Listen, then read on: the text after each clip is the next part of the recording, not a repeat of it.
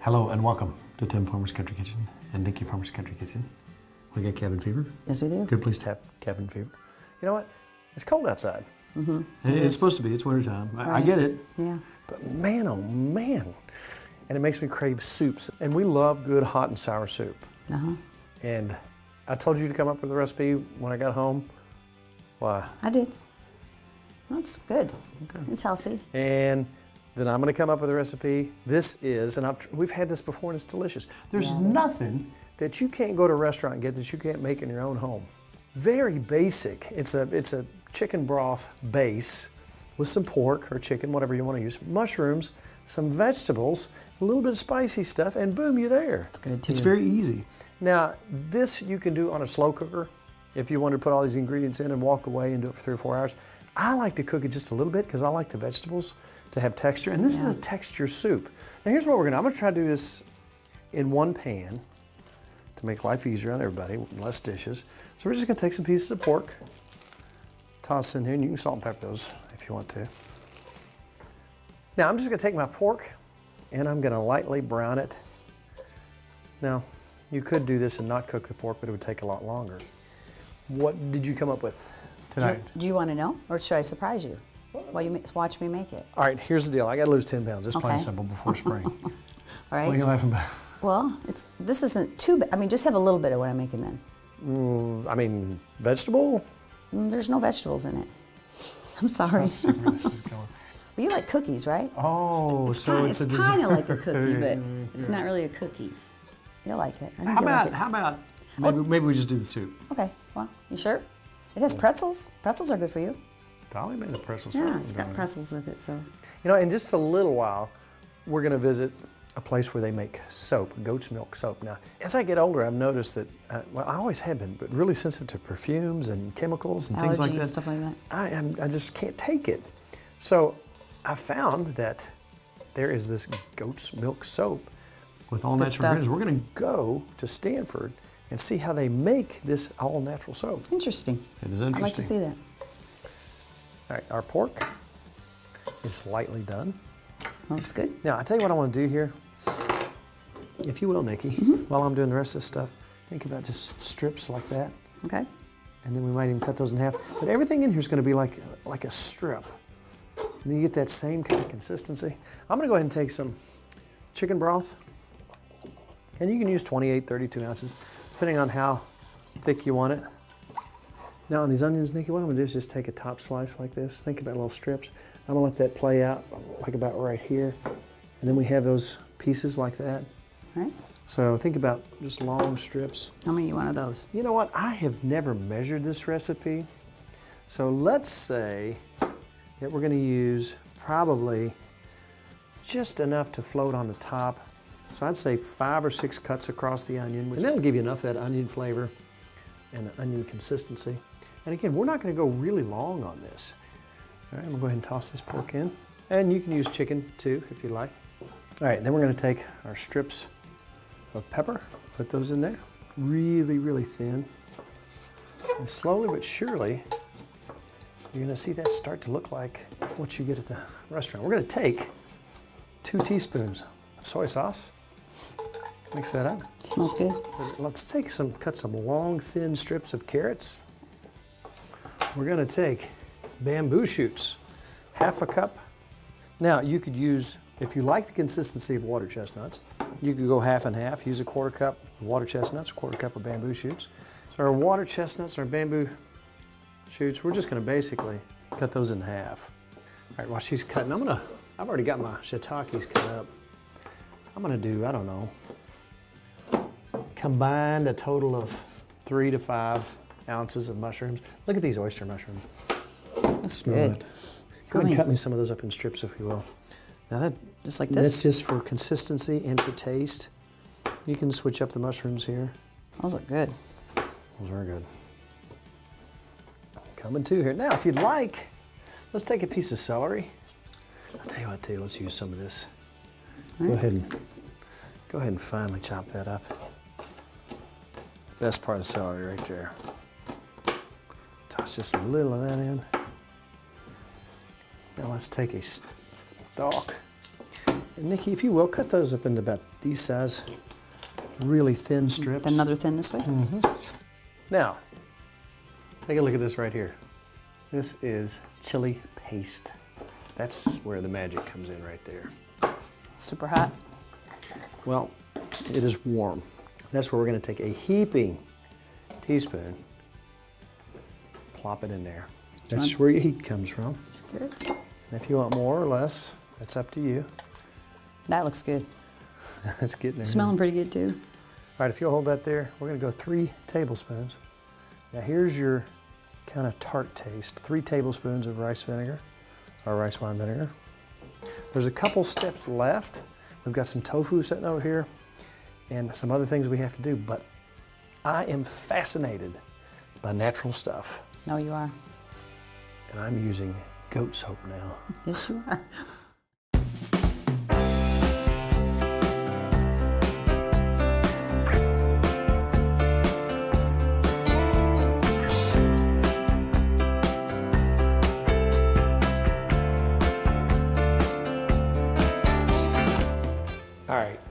With Jessica Toll today, and we're talking about natural soap.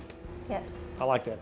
You know what I find, and, and people are going to call me, uh, you know, all kinds of names, but the older I get, all my buddies at work are going to make fun of me. But any kind of chemicals, and I this I'm not on my soapbox. Right. I'm not. I'm not trying to say you should do this, but this is a choice for me. Right. And I think as we get older, I remember I had a professor um, who told me, he said, I'm not going to put anything on my body, such as deodorants, things like that, unless I could put it in my mouth and eat it. And that's stuck in my head. Right. I'm not eating your soap. You could. You could. You could. After the lye gets out. We'll talk about that later. Right. But you know what? We're at Kentucky Soaps and Such Yes. here in Stanford. Beautiful little town. We're going to talk about how you go through this process to make goat's milk soap. Right? Everything's natural. Yep. No nasty, weird perfumes Right. that have letters, you can't 26 read. letters exactly. That's right. I like that. Tell me how you start. How do you start this whole process? Give us, give us kind of an overview. Our soap is basically made up of very simple ingredients that you can, when you read the box, you can pronounce them. Um, that's uh, palm, olive, and coconut oil. And then you're going to see a rainwater and sodium hydroxide, which is lye. You collect your own rainwater We do. Right out back here. And third part is our fresh goat's milk that we get locally. Which is right here. Yep, from our local, we have a local farmer here that brings it to us. Right, I'm to stand out of the way and let you do your thing. Um, so now I'm going to be taking um, our, our three main oils, the palm, olive, and coconut oil, and basically goes into this big, pot. And how I know that I've got enough is it's on a scale. So it's just weighed. So I'll go ahead and do that. Show you that.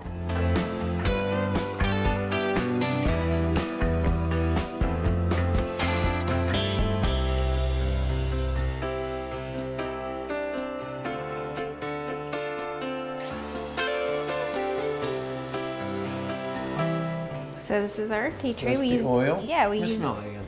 Okay. Yeah, and that's 26 ounces of the essential oils go into the soap. All of our soap is good for dry skin, better than what any, you know, commercial soap would be just because it's made without detergent, Right. and that's huge. Detergent will dry dry you completely out. Um, but the tea tree, like I said, it's got a little, it's more of a drying, so it's good for oily, more mm. oily skin. Yeah. So I've got my oil in there and I'm just gonna stir that for a few more minutes. Are we getting close? Yeah, we're gonna add the milk now.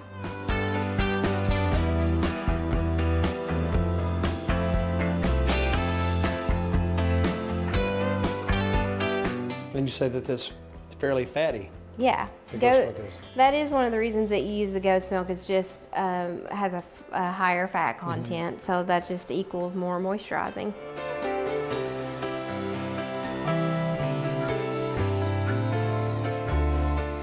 Looks like custard. All right, so it's definitely ready to pour up. And you say this Um, makes how many? 300? 350. 350. Yeah, it's, it is kind of the consistency of pancake batter, cake batter. But yeah, so this is ready, and I'm gonna pour it in here.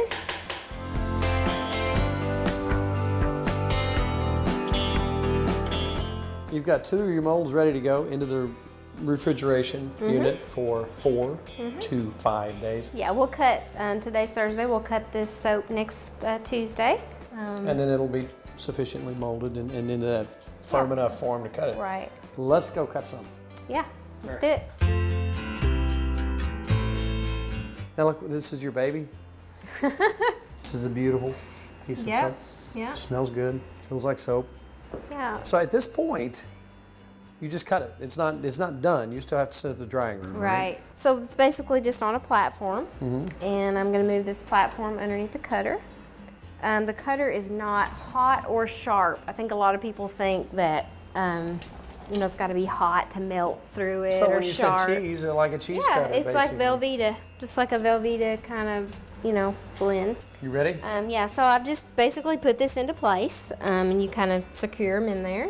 And then this is all, um, it's an air, it's used on air, so it's just an air, kind of air compressor cutter. You like, you, you'll see, it just barely. Well. What do you do with the little scraps that come off the side? Um, we keep them, just kind of let them, put them on a, put them on a tray and let them dry out. We'll give away samples, give people little a good idea. pieces. Yeah. So anyway, this is uh, this is the first cut. So that's your and there's two cuts. So next step, you cut it sideways, then boom, you've got bars. Yep. We just carefully place them on here, um, a little bit apart, so they get plenty of air in between them, and that goes into our dry, to the drying room. How and long- it's it's 30 to 45 days. We like to leave them. I mean, you can definitely leave it in there longer. There's no expiration on soap. So the longest part of your process is the drying process. Mm-hmm. Then once it's done and out and ready, it goes over to the packaging table where Yeah. you just box it up by hand, I guess. Right, So everything yeah. here is done by hand. There you have it. Yep. You know, fairly simple process, but but I'm sure it's a old, old tradition. I'm sure that you've learned these things from different people. But for so long, I would go buy everything off the shelf, not even reading the label, whether it was meat, whether it was canned vegetables. You just don't know. Right. We have the opportunity to know now. Right. And now we know what you do, and I want to thank you very much for having Thank us out.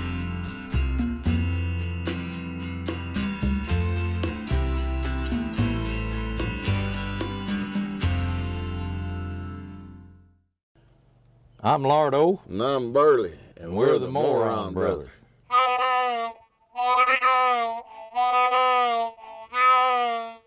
Got a frog in my throat. You know, Tim Farmer was telling me that he got him some chickens, and he go raise chickens, sell eggs, make a lot of money. Yeah. And well, he read in the magazine, farm magazine, where if you feed them silkworms, they'd lay better. Yeah. So uh, I I seen him he so been about six months, and I seen him up there. I said, Tim, how you chickens done? He said, I've been feeding them silkworms. I said, well, how they done? He said, well, they're laying good, but all the eggs got pantyhose in them. Do the rooster song. All right, then.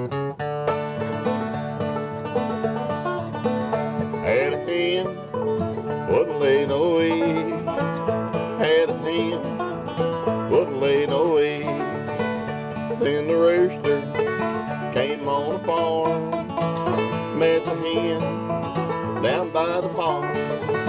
She laying eggs now, we got eggs now. Said the rooster came on the farm. She laying eggs now. We got eggs now. St. Thursday came on the farm. Had a dog, didn't have no puss. Had a dog, didn't have no puss. Then the rooster came on the farm. Caught the dog down by the pond. She's having bird dogs. We got bird dogs. Said the rooster came on the farm. She's having bird dogs. We got bird dogs. Said rooster came on the farm. Had a cow, didn't give no milk. Had a cow, didn't give no milk. Then the rooster came on the farm, caught the cow down by the pond. eggnog. We got eggnog. Said the She's an eggnog. We got eggnog. Said the rooster came on the farm. Had an aunt, didn't have no kids. Uh-oh. Had an aunt, didn't have no kids. And Then the rooster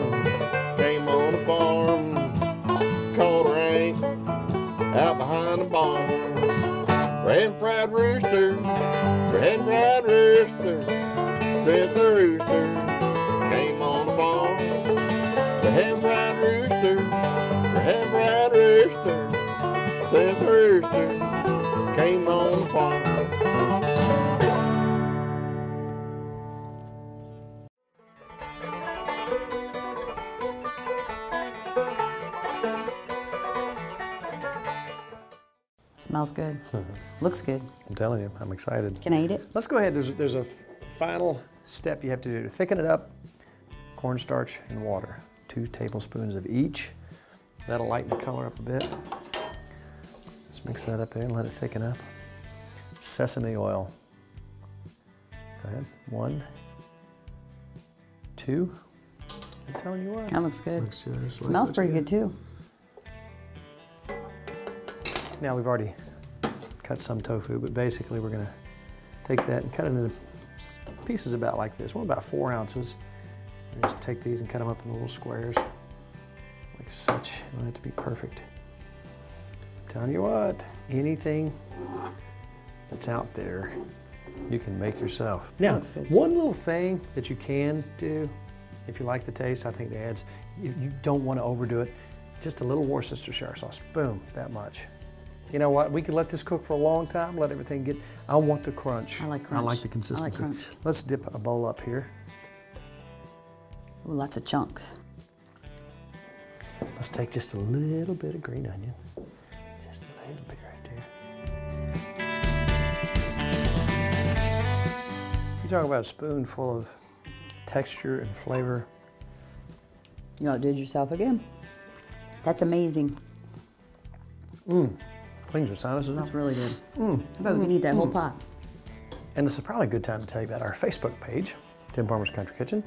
Like it, check out, see where we're going, what we're doing. Also, visit our website, timfarmerscountrykitchen.com. Look at our shows on YouTube there. We've done a bunch of them. Try some grub you've never tried before. There's my chocolate that Kelly got me. Yeah? Look, those are tooth marks. Who did that? I don't know. Hey, hey. Do you know all the benefits I know. of dark chocolate? That's why I'm making this tonight because this will be so good for you. This is how you top this hmm. off. so, would you still love me if I look like this all the time? I do. Would you give me a kiss? Uh-huh. Give me a kiss. Give me a kiss. That's Isn't nice. sweet? That- You look good. Thank you very much. I absolutely love chocolate. And it is good for you. Yes. So, Well, I see what you've done again with cream cheese and the butter. so we start with butter, correct? yeah, we're gonna melt a stick of butter. So what you're saying is this is kind of kind of a cookie dough It's just a cookie Tight dough. consistency. yeah, you can call We it make a it a dip. dip. You can call it a dip or a dessert or.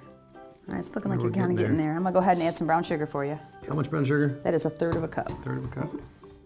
And as soon as that's all melted in, we're gonna shut it off and add some vanilla. All right, that's looking pretty good. All right. I'm gonna go ahead and just turn that off. And we're gonna pull it off the burner and add a teaspoon of vanilla. All right. Is that a teaspoon? Mm-hmm. It's about a teaspoon. All right. I got a package of cream cheese. Cream cheese. Let it kind of get to be room temperature. All right. We're gonna go ahead and use our mixer to.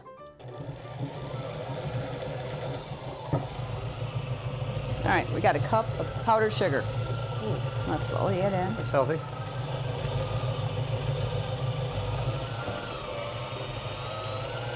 All right, if you want to slowly start pouring that in for me. Just add it. You want all of it. See how simple that was? You just keep on putting it in your mouth, right? That's right. I'm gonna go ahead and take this out of here. I've got three quarters of a cup of chocolate chips. Okay. Just gonna go, mix it can't in. Go wrong. See how it's kind of looking like cookie dough here? Oh yeah. And I got pretzels because I thought kind of a salty. Don't you Salty think that'd be would be good? sweet, yeah, yeah. I want to dip a pretzel into my cookie dough if I'm gonna eat it raw. What do you think? Oh, man. How can I resist that? So it's kind of like eating raw cookie dough, but without the egg, right? So it's not bad for you. And this is where your chocolate comes in. Can I use it? Just scrape on. This is the end I'm chewing on, so you can do that. I can use the other end. Let's just make it look Yeah, pretty. it do you needs think? more chocolate. Yeah. I thought it might look make it look pretty. You sure we don't want to melt a stick of butter over top of that? We could. Oh man, stop. Does that look cute? Oh, I gotta have some of this. There's our dip. Our Look at that. So it's a, but it's a cookie dough dip. See what you think? Wow. Isn't that good with the salt? Oh man. Meanwhile, at this point, it's pretty much just all about Good times, good friends. good eats. That's good eats right there. You know what? How in the world am I gonna exercise all this all? Will you do a workout video with me? A workout video. Well, Like Jane Fonda? well, it's not really a workout. It's yoga. So it's like for older people like us, and it's stretching. It's gonna Yoga. yoga, please. It's, I heard it's really good for people our age. After you eat cookie dip, you're supposed to do yoga. So, what do you have, like an instruction manual? I just happened to bring it up here with Did me. not. You can get these any. I don't know if this is even a good one or not, but you know what? Yoga. And look at she's not. She's just kind of stretching. I think if we could work together. Well, how's she going again? Like this. So, so I think we need to try this. I'm this. wearing an apron. Uh-huh. I'm on a cooking show. Right, I just put tofu in something. right. And now I'm doing yoga. What are my Marine Corps buddies gonna say? Just don't tell them. You'll be the, you'll be able to touch your toes in a week. We'll see. Let's eat cookie dough first.